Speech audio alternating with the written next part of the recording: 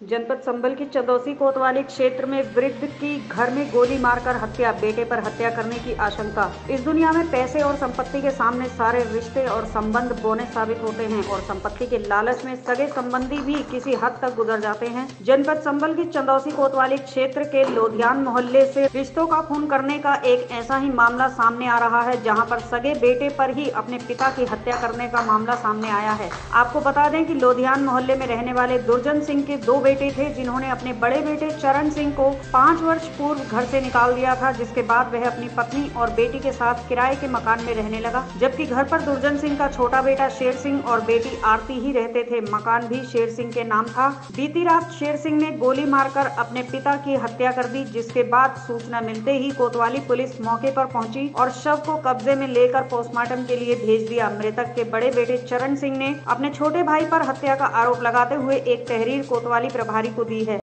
क्या हुआ? ये कैसे मौत हुई इनकी? कौन है आपके ये? ये हमारे पिताजी है। हम्म, कैसे हुई घटना? क्या हुआ ये?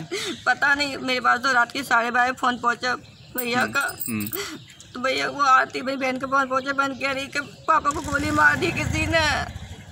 इतनी बात हुई थी मेरी कहाँ रहते थे? कुर्जा के लोजन मोहल्ला। क्या नाम है इनका? पापा का। हम्म, दुर्जन सिंह। क्या करते थे? अब तो कुछ नहीं करती थी घर पे रहती थी रिक्शा छोट मिलने वाला भैया रिक्शा लिखवा कर दिया था।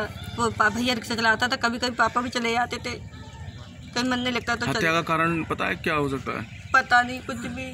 हाँ जब गोली मारी किसी ने। और क्या बताया?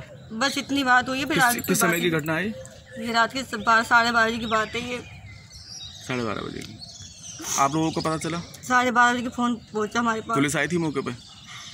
मुझे नहीं पता मैं तो गाँव से आई हूँ। कहाँ रहती हो आप? जारी क्या नाम है आपका?